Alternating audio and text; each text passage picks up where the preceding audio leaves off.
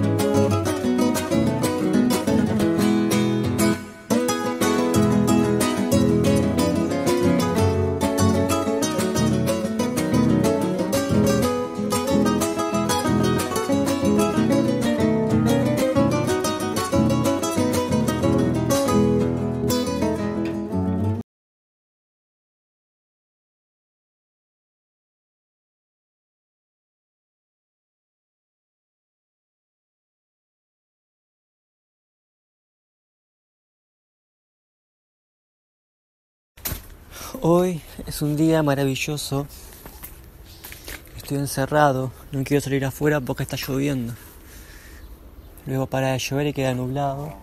Y aún así no quiero salir porque, no sé, mi oscuro hogar, considerado por algunos y algunas oscuro hogar, aunque yo digo que es la luz natural la que entra y que es luz suficiente y maravillosa, suave, tenue, taciturna, me, me era acogedora esa oscuridad tenue que para mí simplemente es luz natural. Y salgo afuera y estando afuera me doy cuenta que había salido, había salido porque sentí un llamado, un llamado de, del jardín que decía, Agustín, Agustín, vení, queremos estar contigo, te extrañamos, somos tus amigas las plantas. Guaycurú también te está esperando. Sal, por favor, queremos verte. Y sabemos que nosotras, sabemos que vos nos querés ver a nosotras. Agustín, vení, tenemos un regalo para vos. Una medicina sagrada para el corazón, para que te sientas feliz, al menos por un ratito. Para que recuerdes que en la vida hay cosas lindas, cosas muy bonitas. ¿No ves qué lindo que es ese color verde? Tu patio está lleno de verdes, de todas las tonalidades, paleta baja, paleta alta, algunos más chillones, otros más opacos y apagados, algunos de musgo, otros de romero, hojas de ruda, palta, esa planta que no sabes cómo llamar, pero aún así no la matás porque le tenés cariño. ¿Qué cariño? Si a veces decís que no te gusta, pero en el fondo sabemos que te gusta un poquito. una papa que plantó mi amigo Hernán, el limonero, la parra que da mucha sombra pero no fruta, lazo de amor, lazo de amor, qué planta más hermosa madre, el higo, la higuera, se está poniendo ahora toda seca, porque en otoño sus hojas empiezan a caer una por una, pero no quedan de un elegante amarillo, quedan de un verde amarronado, amarronado fuerte. Hay una transición del verde al marrón, a veces alguna pizca de amarillo, pero es tan leve que no se logra contemplar del todo. Entonces parecen hojas enfermas, hojas verdes, que comienzan a perecer lentamente, arrugándose de una forma que muchos considerarían tan fea, pero a mí me parece sincera. En fin. Y miro el cielo y entonces me doy cuenta que, wow, el cielo es maravilloso cuando está nublado, pero no llueve. Es como que es una enorme eterna luz que está apoyando sus manos suavemente sobre toda la, la superficie, ¿no? Los campos, las ciudades, los pueblos, el mar, las sierras. Diría montañas, pero en Uruguay no hay montañas. En fin, qué luz tan amable, blanquecina. Se escuchan ranitas a lo lejos, qué maravilla, qué bonito. Y el cielo a veces siento, ¿no? Que es como un gran dragón, un gran dragón del aire, del tamaño tal vez de un país, el tamaño tal vez de un departamento. Recuerden que en Uruguay a las provincias o estados le decimos departamentos. Y el dragón pasa relajado, compartiendo su, su luz calma, como que le trae un respiro a la mente de las personas. Capaz que a mucha gente le molesta, seguramente sí. Por algo somos seres tan diversos, no los seres humanos. Estamos rodeados de diferentes opiniones y formas de ver la vida. Qué lindo que es eso igual, ¿no? Sí, a veces puede traer muchos problemas cuando hay gente que piensa que nada, que le puede hacer daño a otra persona. Ya tenemos varios ejemplos, ¿no? Pero mientras se respete al otro y haya amor, mientras no haya odio de por medio, ni violencia, ni nada, ni ninguna de esas cosas malas que todos conocemos, todos y todas conocemos. Eh, está bueno que haya diversidad y está bueno que haya formas de pensar distintas. Siempre que exista eso, ¿no? El tema que a veces en los tiempos que corren no existen y se arman tremendos problemas. Qué viaje, ¿no? Bueno. Y nada, acá estoy, tranquilo. El dragón, este enorme que está arriba del cielo, hecho de nubes, trajo como un regalo. Yo siento que es como el regalo de la vida. Pasar de un estado de nada, de sentirse un poco perdido, un poco triste, un poco azul. Pasar a sentirte conectado con la vida. Y es un regalo, sí es un regalo, el regalo de la vida. El sentir que la vida tiene sentido, que a pesar de las circunstancias hay que salir adelante, que no hay que rendirse, que hay que recordar cosas lindas, no olvidarse de las cosas malas, pero bueno, recordar cosas lindas también es importante. Ay, qué lindo, qué lindo que es estar contento, que es estar vivo, que es estar existiendo. Saben que miro el ceibo y está tan triste el pobrecito, se le cayeron todas las hojas, cayó tan marrones cómo desaprovechó la oportunidad de hacer, algo con sus hojas amarillas.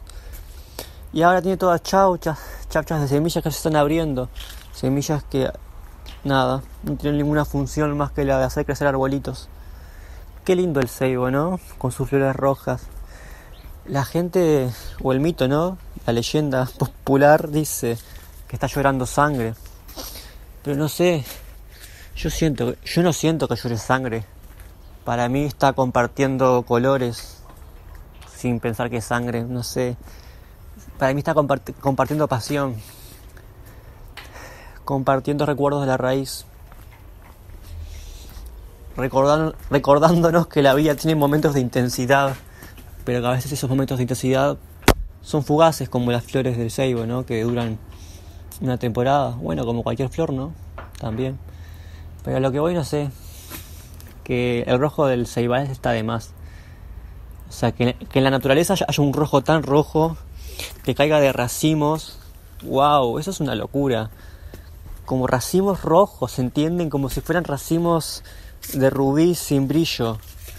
No sé, ah, eso, como que el rojo en la naturaleza es un color increíble, no piensan en los pájaros que tienen plumas rojas, que tienen esos rojos súper intensos. El churrinche es un pájaro que el macho en Uruguay es todo rojo. ¿Y saben por qué el macho es rojo nomás? Porque el macho con su color rojo se aleja del nido para llamar la atención de los depredadores. Y sin embargo la hembra es de, color creo que marroncito o colores más, naturales. Y es ese color para poder camuflarse en el nido. Entonces los depredadores a la hembra no la ven porque está camuflada y el churrinche, que es rojo, se encarga de volar lejos del nido para llamar la atención de los depredadores. ¿No le parece increíble eso? O sea, como que tremendo trabajo en equipo para poder criar un huevo que es su futuro hijo. Eh, no sé, me parece muy loco. Y, y pensaba eso, qué, qué intenso y qué rojo es el, el rojo del churrinche. El, el rojo del, del, penacho del cardenal, ¿no? Es como que esas cosas en la naturaleza son increíbles, como esos momentos de intensidad total. Porque yo que sé, está verde y en todos lados, está re lindo, sí. Pero rojo, no sé, es como algo tan fugaz como eso en otoño. Los árboles que quedan rojos, pero es algo fugaz. Qué loco, che. Bueno, en fin. Eh, la vida es muy bonita.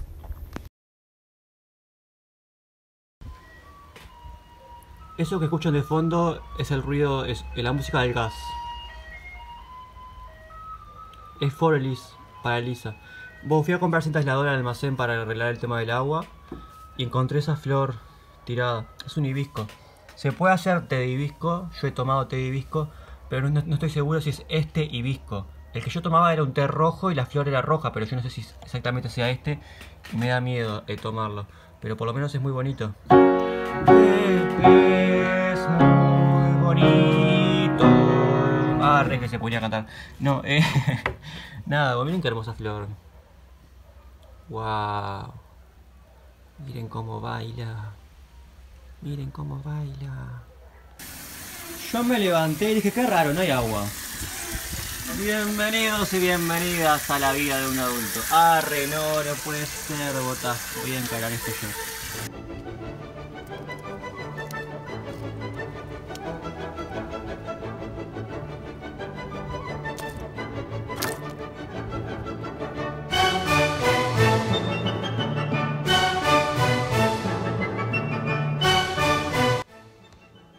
Esta luz me asusta un poco, pero qué ángulo más extraño. Ay Dios, eh, me saqué el maquillaje porque... Ah, no, tenía el maquillaje. Porque hice estaba haciendo el video que ustedes vieron el miércoles de por qué me gusta el color rojo. Y... Qué luz más extraño, ok, no me gusta. Eh, y la cuestión es que toque a la ferretería. Siempre arreglo todo lo que se rompe en casa con cosas que hay en casa, como que reciclo pedazos de plástico y todo, pero esta vez no puedo. Así que voy a, la ferretería. Ahora en el barrio hay ferretería. Antes no había ferretería en el barrio. Y tenía que ir a progreso. Se rompía algo y tenía que ir al pueblo y ta. Y ahora no. Tengo la ventaja de que hay una ferretería en el barrio. Esperamos que, esperemos que tenga los, los cañitos que necesito. Pero nada, me saqué el make-up porque me da vergüenza. E igual me, queda como una especie de rojito como, ay, geisha, elegancia. Vos fui a la ferretería, tenía un poco y nada, pero está. O sea, tenían cosas, pero no lo que estaba precisando. Y nada, ahora compré algo que nada que ver. Eh, mi viejo me dijo que nada, estaba nada, ay Dios, problemas de, reparación. Un vecino me prestó unas herramientas y, ahora sigo improvisando. Vos. Se dan cuenta que a esto me refiero con cosas que uno quiere sentarse a dibujar. Pasan cosas en la vida, pasan cosas como que se te rompe un caño y no sabes repararlo o si sabes repararlo, pero no tienes las herramientas necesarias. Y no voy a ir al pueblo, porque aparte se largó a llover, aparte se largó a llover. Si quisiera ir al pueblo ahora, no pinta ir al pueblo. Eh, pero lo voy a reparar, lo voy a reparar. Eh, hay que improvisar. La vida se trata de eso, de improvisar. Este era el caño que precisaba y no pude conseguir. Y un vecino eh, me dio un pedazo. Muchas gracias, Dardo, por ser tan buena onda y darme este pedazo de caño que no pude conseguir. Eh, qué increíble, oh.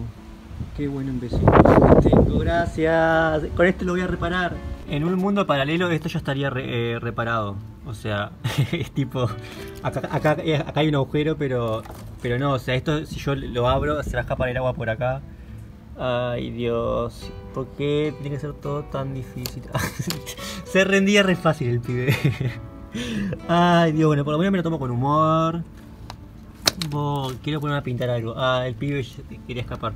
Plantas, ¿qué se siente ser solamente una planta y existir? Tipo, nada, estar como quiera, tranqui, sintiendo el clima, creciendo, haciendo fotosíntesis. Debe estar bueno, ¿no? Creo, no sé. Ustedes tienen que reparar caños y esas cosas. O sí. O sí. ¿Qué opinas, Totoro? ¿Qué opinas, Totoro? Con eso voy a estar el caño, ahora tengo que encontrar una pinza. Waiku. Hola, Esperito. Hola, Ferita, vamos a... ¡Ay, no! No ña, ña, ña. Intento uno. Casi. Intento dos. Eh, mejoró un montón. Eh, hay una gotera.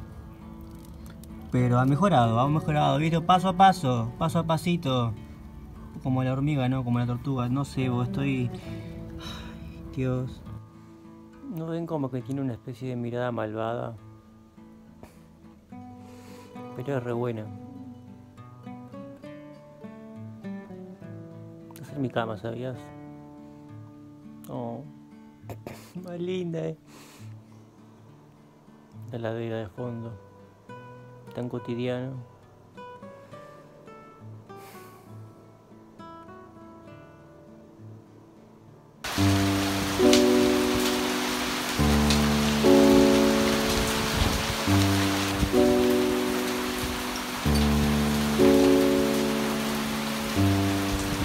Bueno gente, fue un gusto conocerles. Ah, re apocalíptico estaba. No, oh, hay unas correntadas de viento que decís, mamita, voy a seguir volando. Yo tendría que abrir la ventana y cerrar esto, porque una vez cayeron unas piedras de este tamaño en casa, en el pueblo, que rompieron todo el pueblo, literalmente destrozaron el pueblo. Gente de piedras de este tamaño. O sea, progreso, apocalipsis, where, who, when, o sea, o sea, tornados, no, tenemos piedras tamaño huevo de gallina.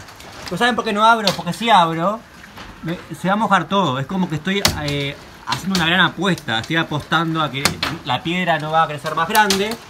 Y por ende, eh, nada, no se va a romper el vidrio, pero en realidad debería cerrar. Pero, vos, miren la cantidad de agua que se ha acumulado, por Dios. Dios. Chin, chin, chin, chin. Bo, eh, no me la iba a jugar y salí para afuera a cerrar el coso por fuera para que no entre agua. Pero nada, eh, dos segundos fueron, dos segundos y empapado. Vos. A veces pienso que necesito un hombre y luego pienso, no, Agustín, vos tenés que ser tu propio hombre. Y mirame acá, soy responsable, cerrando las ventanas para que no caigan huevos gigantes de hielo y me rompan la vidrio, el vidrio. Vos. Vos, ese día que cayó cayeron huevos de gallina de hielo eh, del cielo en progreso. No es chiste, gente, es muy trágico lo que pasó. Eh, al otro día había cuadras, cuadras en las vidrierías porque se rompieron todos los vidrios en el pueblo. Se perdió toda la cosecha de frutales. O sea, estamos hablando 100% de pérdida.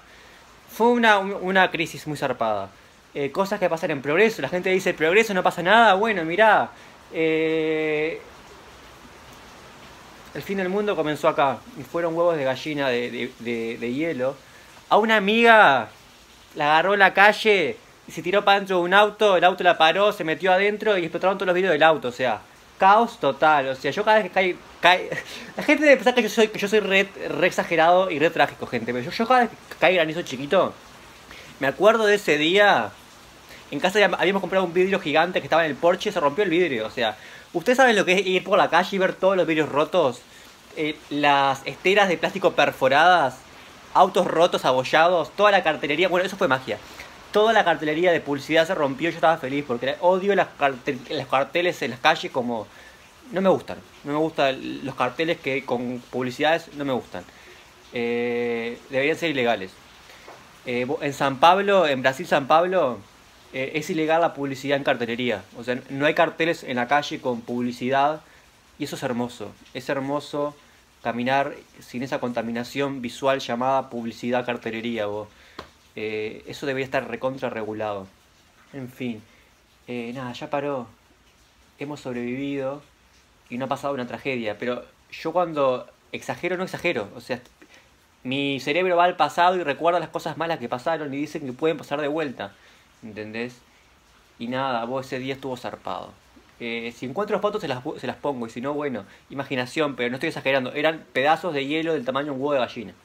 Ustedes ven, ¿qué pasa si, qué pasa si, qué pasa si les agarra eso en la calle?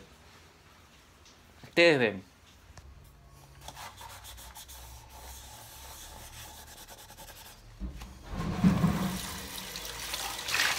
Rescatamos una palta, vamos a comerla con pan tostado. Y, y ahora entendí, claro, lo que decía, o sea, como miré toda su historia y que el loco decía eso, claro, que, que él... Otro día en la ciudad de progreso. Es lo más también.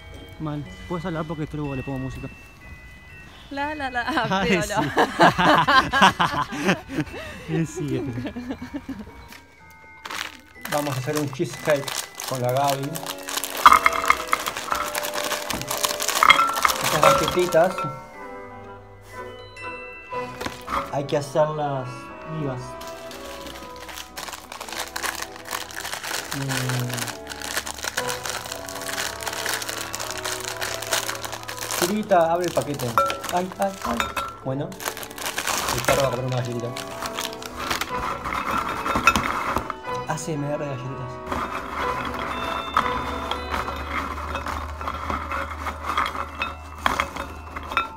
Romperlo con algo.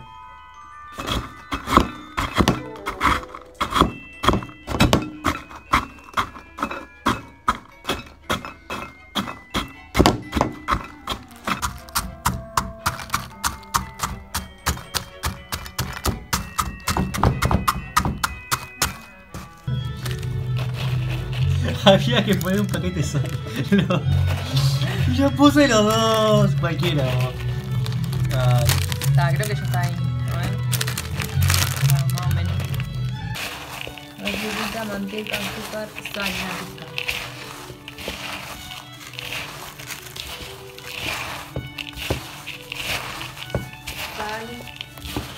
Para dónde está. Entonces dice, mezclar, para empezar a hacer con migas, mezclar la galletita con la manteca derretida. El negro al cielo me boludo. Pero una galletita ya no Si hay alguna cosita, Listo. Aspiradora social. ¿y qué tiene que tener? Tiene que levantar mil grados por lo menos. Y ¿Cómo lo haces? Eh, algún ladrillo refractario. Está, entonces eso lo, lo- si ya está, ah, pero eso no queda como una mancha. Tipo, está re de, de... Para mí no se va a unir.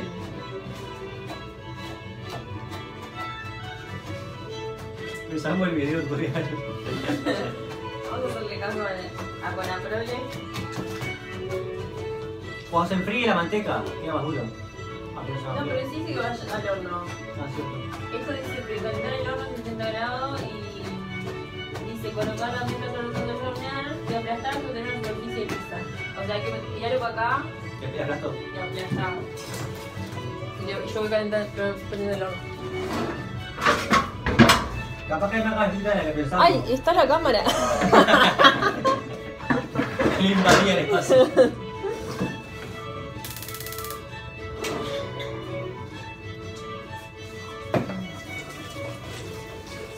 Ah, pero cuando apretás queda más. Vos pensás que esto, esto se come con, con cuchara, ¿no? Así, como- Claro, se come como postre. Yo tipo a la, estoy acostumbrada a las tortas tradicionales. Re, igual es mucha más masa, ¿viste? Igual, ¿a qué te O sea- ¿a qué te lo para el costado? No. No. Que, que tipo quedaba gruesa, ¿viste? Sí. O sea, como que era menos, me parece. Menos. Pero ya fue. Nosotros precisamos más. Eh, bueno, está. Y acá yo voy a hacer el relleno. Cream cheese, está. 400 gramos, ¿es 400 gramos? Sí. Azúcar 200 gramos. Dice, para el cream cheese con el azúcar, está. Azúcar. dulce. Sí, no sé qué es. Rarísimo.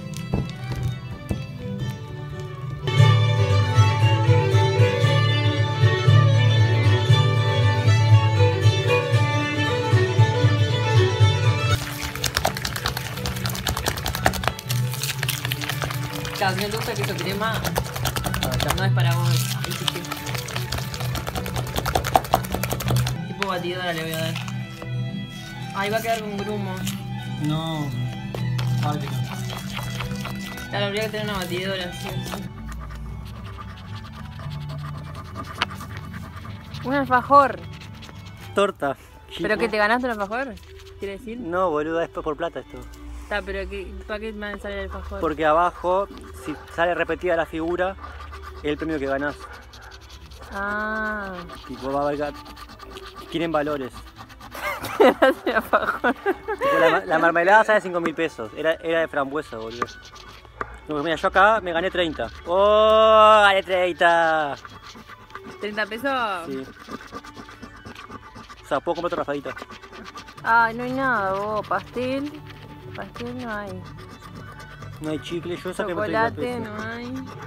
Chicle. Raspa el bono abajo. No. ¡Alfajor! Sí. Ah, 30 más. pesos. Sacá 60. 60 pesos, boludo. O sea, 30 recuperé pesos. ¿Y esta, el bueno, cuál es? Este. ese.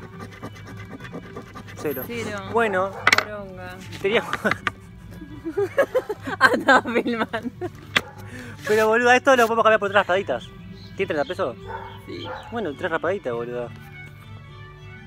O sea, no, no- no perdimos, ganamos 30 Sí, pesos. No son 2 O sea, millones, pero La plata que gastaste en la raspadita. la recuperé y 30 Para pesos que más. sigas jugando. Mira, abrí el horno. ¿El eléctrico? No. Boluda, ¿Qué onda? Una torta. es un plan.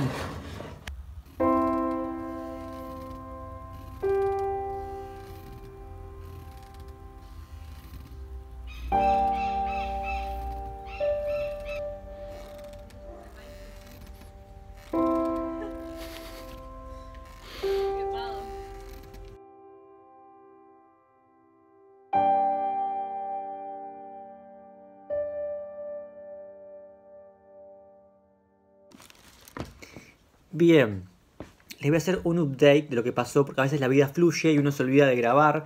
En realidad tenía poca batería y tal. Yo que sé, a veces no me pinta andar grabando. Quiero vivir el momento y no, estar con el celular grabando, ¿viste? O sea, estar con el celular grabando es trabajar, porque es como que estás. eh, eh, no estás viviendo el momento al 100% porque estás pendiente de que la, cámara esté grabando y, se te escapan cosas como del devenir de la vida y el presente y la maravilla del tiempo y todo eso.